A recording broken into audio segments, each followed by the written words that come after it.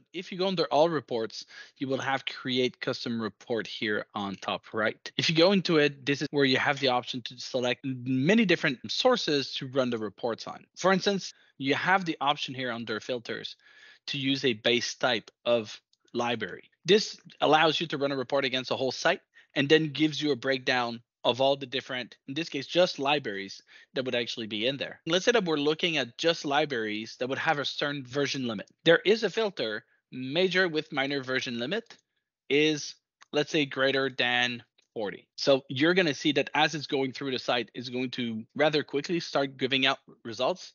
There you go, starts populate, populating through it.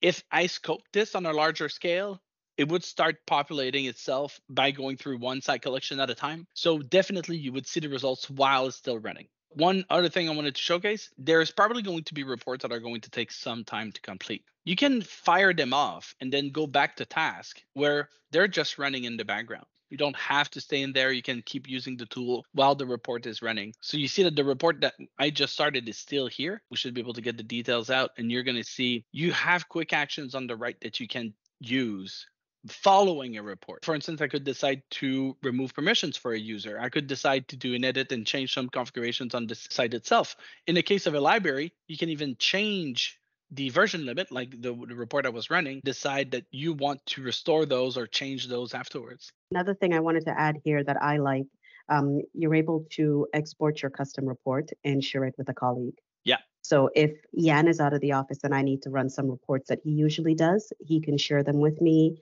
I import them into my version of the tool. I've got his preset settings and everything, and we can just carry on as usual.